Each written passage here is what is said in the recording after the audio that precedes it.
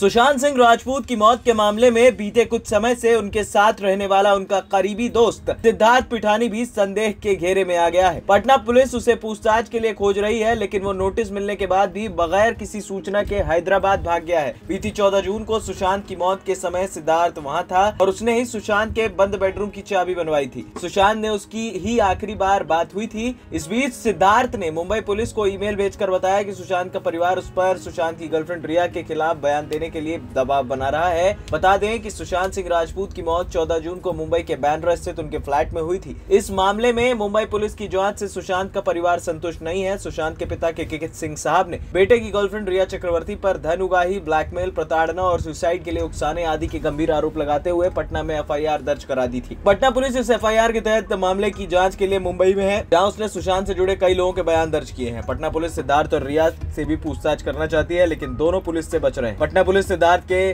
साथ संपर्क करना चाहती है। उसने चार दिन पहले पटना पुलिस को बयान देकर मोबाइल पर संपर्क भी किया था, लेकिन अब उसका पुलिस से बचते हुए मुंबई से बाहर चले जाना सवाल खड़े करता है। मिली जानकारी की माने तो वो हैदराबाद भाग गया है।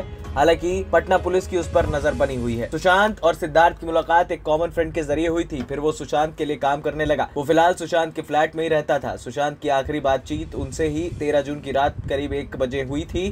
पुलिस ये जानना चाहती है कि आखिर जीवन के अंतिम दौर में सुशांत ने उससे ही बात क्यों की और क्या कहा? उस बातचीत में सुशांत की मौत के कई राज छुपे हो सकते हैं। हालाँकि केस सीबीआई को ट्रांसफ़र हो चुका है, लेकिन अब चक के दायरे में कई बड़े बड़े लोग हैं। एएनपी न्यूज़ रूम की रिपोर्ट।